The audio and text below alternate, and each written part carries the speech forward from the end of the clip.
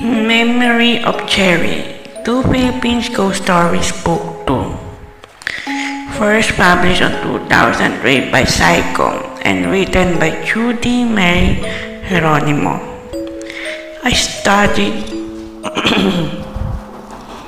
I studied in an exclusive girls' school on Tanay Avenue during my high school years a medium-sized school where the buildings stood close together.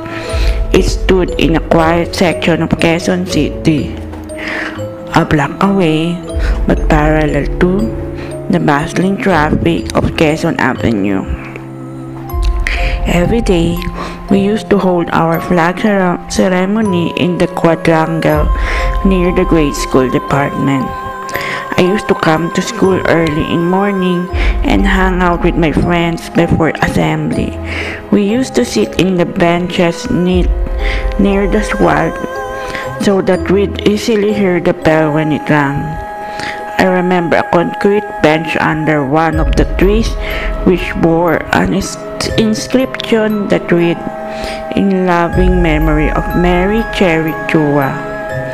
I'd always been fascinated with this bench and at, and at same time weary. According many of the students in my school were afraid of this bench. They said it was the haunt of malevolent, malevolent or at least a spirit who was crying out of pain. According to witness, they sometimes hear the voice of someone crying as they pass by the bus.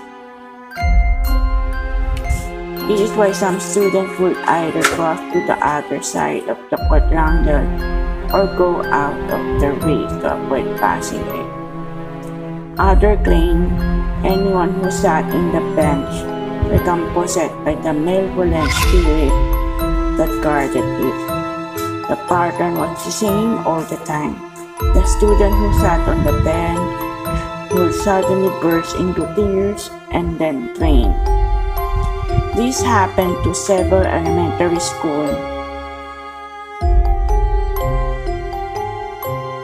girls. After several such incidents, some parents began to think twice about enrolling their children in school. One day, my friends decided to play truth or dare on the benches. I gamely joined in the fun. Most of the dares were pretty simple, stuff like go to the middle of the quad and sing the national anthem at the top of your lungs, or introduce yourself to the first 10 people who passed by. Besides, I wanted to know the juicy tidbits that would come out when I when my friend picked truth. Just then I realized it was my turn to pick truth or dare.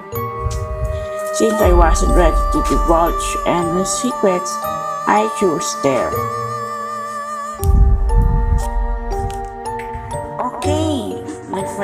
Allison, I dare you to...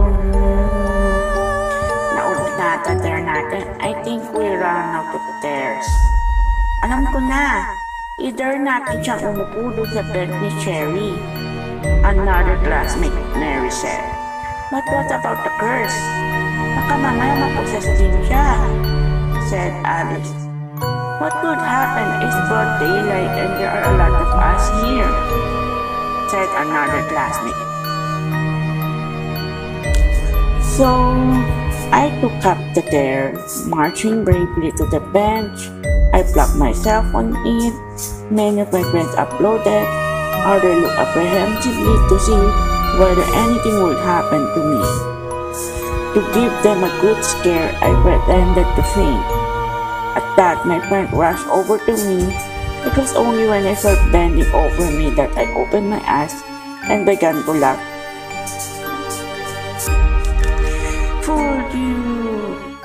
I. They all home in disgust. A few days later, I stayed late in the school to practice for a school play. It was almost dark by the time rehearsal ended, and I really wanted to go home immediately. There was hardly enough left in the school, in the campus, just a few high school students. There was as I was in hurry to go to the gate and see if my ride was there, I didn't really notice where I was going.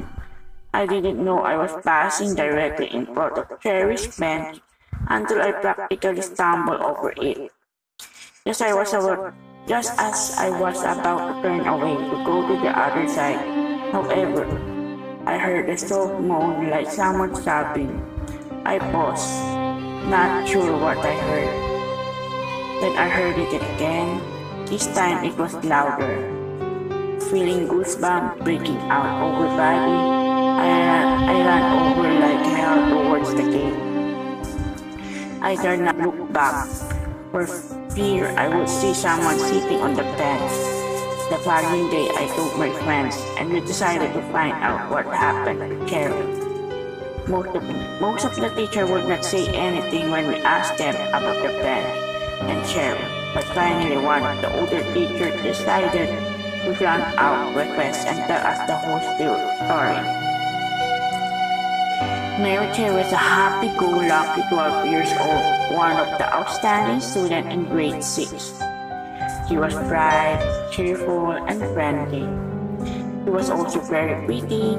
She had chinky eyes that nearly disappear whenever she smiles. She had a very, very fair complexion, nearly paper white. She was slim and tall for her age. She was a favorite of almost all the teachers. One day, she didn't come to class. The teacher thought she was sick and in, in bed at home, so they didn't think this out of the ordinary. But later that afternoon, the parent of Cherry came to school. Cherry didn't come home from school the previous day, they said. They thought she was sleeping over at a classmate's house, but she, but she never called and they were worried. After questioning all her classmates, the teachers and Cherry's parents found out that Carrie did nor make any plans to sleep over at any of her friends. The last that anyone saw of her was the previous day, right after dismissal when she told some friends to go ahead because she was passing by her locker to pick up some books. They thought she'd gone straight home after that. A school guard searched and showed her parents feared the worst. After a two-hour search, they found her body behind some trees in the garden near the quadrangle. She was naked from the waist down. Her skirt was later found in some shrubs near the trees. Her lower torso was bloody, evidence that she was raped. Her hands were tied and a sock was stuffed inside her mouth, and her eyes were swollen and shut. Her handkerchief was tied around her neck. She was raped, tortured, and strangled to death. A few days later, her killer was found, a janitor who was previously fired by the school. He wanted to get back at the school for firing him and chose Cherry because she was really popular and her death would bring shame to the school. After she was buried, the school tried to make some sort of amends by constructing a concrete bench in the spot where she was found in loving memory of Mary Chua, Mary Cherry Chua. A few weeks after the bench was built, strange things began happening. Students kept hearing someone sobbing whenever they passed by the bench. Then the possession stories began cropping up. The sister from our school offered prayers for the eternal rest of her soul, but it didn't stop her soul from coming back and crying out to other students. I haven't been to my school in a while, but I'm pretty sure Harry's band is still there. Sabi ni Angel Porty, ito yung mas darker and creepy version sa story ni Mary Chua. In my version kasi eh, sinadya ko maging light and hindi kaan maging tragic daw para maging approachable pa rin siya sa mga minor reader niya.